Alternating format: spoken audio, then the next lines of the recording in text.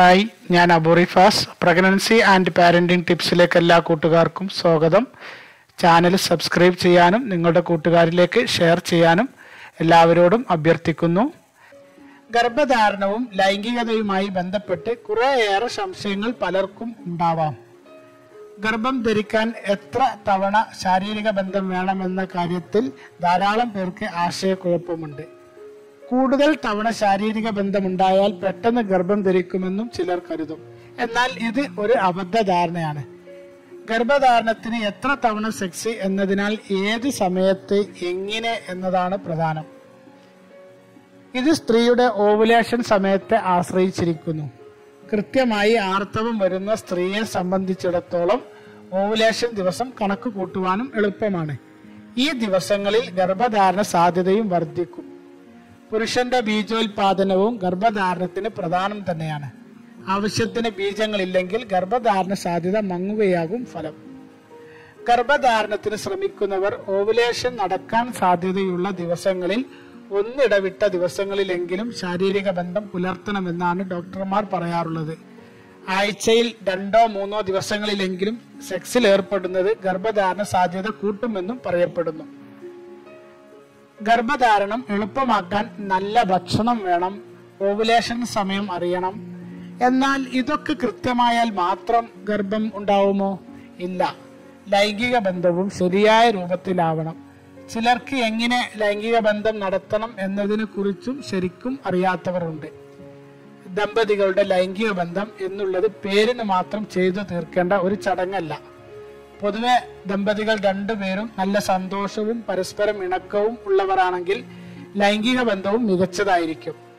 വീട്ടിലെ പ്രശ്നങ്ങൾ കുടുംബ പ്രശ്നങ്ങൾ ഭാര്യയും ഭർത്താവുമായി ഉണ്ടാകുന്ന വഴക്കുകൾ അതുപോലെ മറ്റു എന്തെങ്കിലും അസ്വസ്ഥതകളുമായിട്ടാണ് കിടപ്പറയിൽ എത്തുന്നതെങ്കിൽ ലൈംഗിക ബന്ധം കേവലം ചടങ്ങായി മാറും. ടെൻഷനുകളും ദൈനംദിന ജീവിത പ്രശ്നങ്ങളും മാറ്റിവെച്ച് മാത്രമേ ദമ്പതികൾ ലൈംഗിക ബന്ധത്തിലേക്ക് പ്രവേശിക്കാൻ പാടുള്ളൂ. സന്തോഷത്തോടെയുള്ള ലൈംഗിക ബന്ധം എളുപ്പത്തിലുള്ള ഗർഭധാരണത്തിന് സഹായിക്കും. മാത്രമല്ല അത് ജനിക്കാൻ പോകുന്ന കുഞ്ഞിനും ഗുണകരമാണ്. അതേപോലെ ഗർഭിണിയാവാൻ സ്ത്രീക്ക് രതിമൂർച്ച വേണമോ? രണ്ടുപേർക്കും സ്കലനം ഉണ്ടാവണോ? അത് ഒരുമിച്ച് വേണോ? എന്നിങ്ങനെയുള്ള സംശയങ്ങളും പലർക്കും ഉണ്ട്. പുരുഷന്മാരെ അപേക്ഷിച്ച് സ്ത്രീകൾക്ക് ഒരു തവണ ബന്ധപ്പെടുമ്പോൾ തന്നെ ഒന്നിലധികം തവണ രതിമൂർച്ച കൈവരിക്കാൻ കഴിയും. എന്നാൽ പുരുഷന് ഒരു രതിമൂർച്ചയ്ക്ക് ശേഷം വീണ്ടും ഉദ്ധാരണത്തിന് സമയം എടുക്കും. പക്ഷെ സ്ത്രീക്ക് വീണ്ടും ഉത്തേജനം നൽകിയാൽ ഗതിമൂർച്ച ആവർത്തിക്കും. സ്ത്രീകൾക്ക് ജനിതകമായുള്ള ഒരു സിദ്ധിയാണ് ഇത്.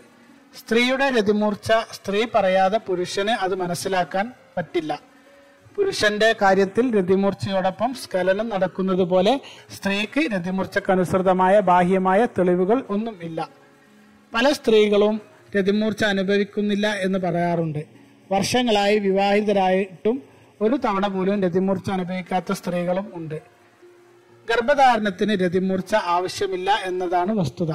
എന്നാൽ ലൈംഗിക ബന്ധത്തിൽ ഏർപ്പെടുന്ന സമയം പുരുഷ സ്ഖലനത്തിന്റെ ഒരു മിനിറ്റ് മുമ്പോ അതിനുശേഷം നാൽപ്പത്തഞ്ച് മിനിറ്റിനുള്ളിലോ സ്ത്രീകൾക്കുണ്ടാകുന്ന രതിമൂർച്ച ബീജങ്ങൾ അണ്ടത്തിൽ എത്തിക്കാ എത്തിച്ചേരാനുള്ള സാധ്യത വർദ്ധിപ്പിക്കുന്നു എന്ന് പഠനങ്ങൾ പറയുന്നു. ഓവുലേഷൻ മനസ്സിലാക്കി ബന്ധപ്പെടുമ്പോൾ രണ്ട് തവണ ലൈംഗിക ബന്ധത്തിന് കഴിയുമെങ്കിൽ അങ്ങനെ ചെയ്യുക. ഒരു മണിക്കൂർ ഇടവിട്ട് മതി.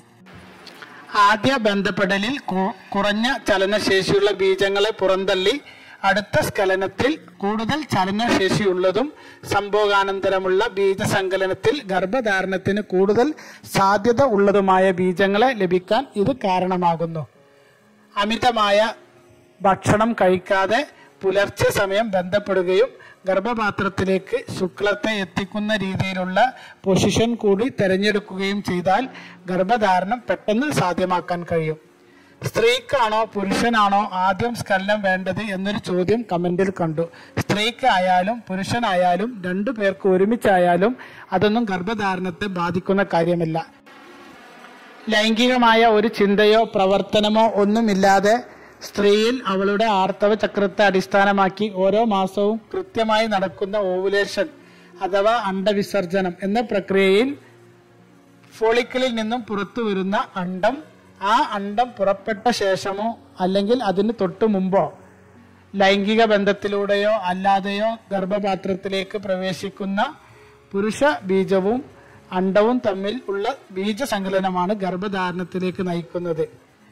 അല്ലാതെ ലൈംഗിക ബന്ധ സമയത്ത് സ്ത്രീയുടെ രതിമൂർച്ച സ്കലനം എന്നിവക്ക് ഗർഭധാരണത്തിൽ നേരിട്ട് ബന്ധം ഇല്ല എന്ന് മനസ്സിലാക്കുക. അതായത് ഈ രതിമൂർച്ചയും സ്ത്രീയുടെ രതിമൂർച്ചയും സ്കലനവും ഒന്നും ഇല്ലാതെയും ഒരു സ്ത്രീക്ക് ഗർഭം ധരിക്കാൻ കഴിയും. എന്നാൽ ഓവുലേഷൻ സമയമാണ് പ്രധാനമെങ്കിലും. ലൈംഗിക രീതിയും പൊസിഷനും സമയവും ഒക്കെ ഗർഭധാരണത്തെ എളുപ്പമാക്കുന്നതിൽ സ്വാധീനിക്കുന്ന പ്രധാന ഘടകങ്ങൾ തന്നെയാണ് എന്നും മനസ്സിലാക്കുക. കൂടുതൽ വിശേഷങ്ങൾക്കും ഗർഭധാരണവുമായി ബന്ധപ്പെട്ട സംശയങ്ങൾക്കും ഈ ചാനൽ സബ്സ്ക്രൈബ് ചെയ്യുക.